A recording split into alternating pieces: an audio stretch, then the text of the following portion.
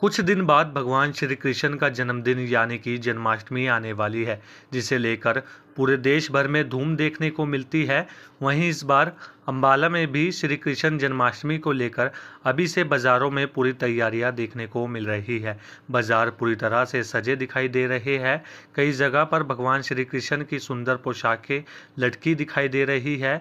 कई जगह पर झूले दिखाई दे रहे हैं। तो फिर कई जगह पर इस बार मटकियाँ लटकी हुई दिखाई दे रही है। बाज़ार रंग बिरंगे सजे हुए दिखाई दे रहे हैं। लोग अपने अपने भगवान श्री कृष्ण के लिए नई नई पोशाकें खरीदने आ रहे हैं, नए झूले खरीदने आ रहे हैं और बहुत से लोग मटकियाँ लेकर जा रहे हैं ताकि इस बार रात को मटकियाँ लगाकर मक्खन भरे और जिसे भगवान श्री कृष्ण आकर ज़रूर खाए। वहीं इस बार आकर्षण का केंद्र ब्लूटूथ वाले झूले बने हुए हैं। यह झूले कोई मामूली झूले नहीं हैं, बल्कि झूलों के साथ साथ ब्लूटूथ फिट है ताकि आराम से भजन और गाने चलते रहे, जिससे लोगों को एक पवित्र वातावरण मिले। इसके साथ साथ भगवान श्री कृष्ण भी प्रसन्न रहे।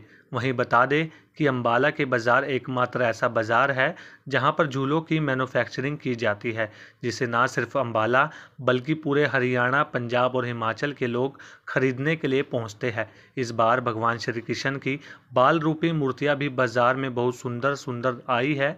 कई जगह पर चांदी की मूर्तियाँ आई है तो कई जगह पर पीतल की मूर्तियाँ हैं तो कई जगह लोहे की मूर्तियाँ भी भगवान श्री कृष्ण की बाज़ारों में बनी हुई है।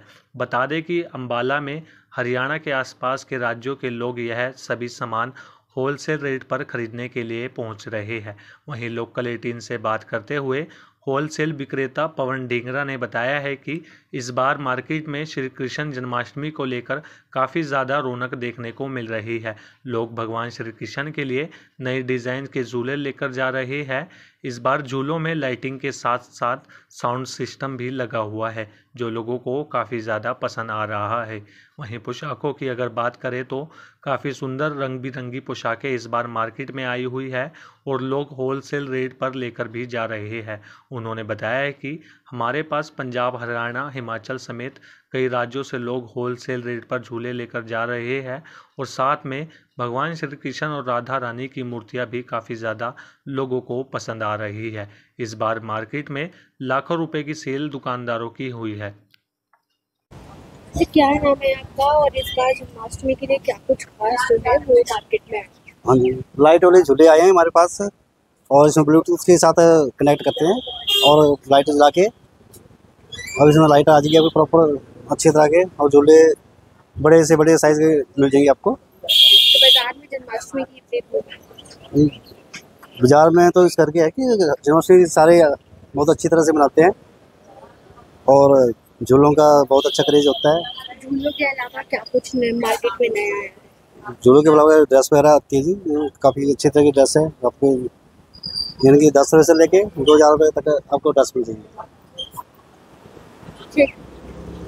कहाँ कहाँ से खरीदारी करने के लिए? हमारे हिमाचल से पंजाब से और हरियाणा पूरे से आते हैं यहाँ पे। और झूल- झूले हमारे होलसेल रेट में मिलते हैं।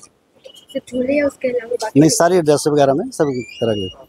लड्डू वगैरह का सामान मिलता है बच्चों की ड्रेस वगैरह कंप्लीट है। साइज़ सारे मिल जाएँगे उसमें। सोमन ढींगड़ा या ढींगड़ा ब्रदर्स पे हूँ।